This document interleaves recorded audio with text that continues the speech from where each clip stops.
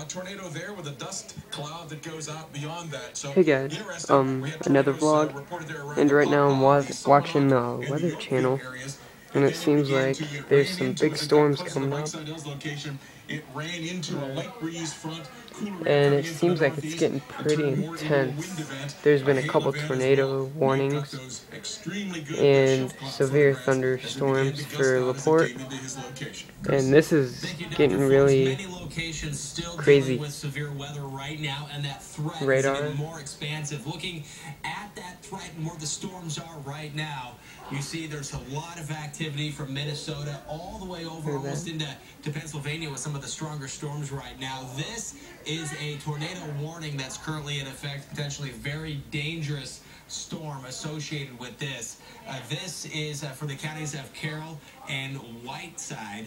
So keep in mind here that if you live in these red outlined areas, this red outlined area in any of these cities here, Jordan, Nelson, or Harmon, you want to be in a safe location right now and monitor this threat as there is the potential for a tornado with this. I believe this is the storm that there was uh, uh, reports of a tornado that was in progress. Also looking at another potentially dangerous storm, and you can see the counties here. It does include uh, Fort Wayne, New Haven, and St. Joseph. This is in northern. Uh, this is Wow.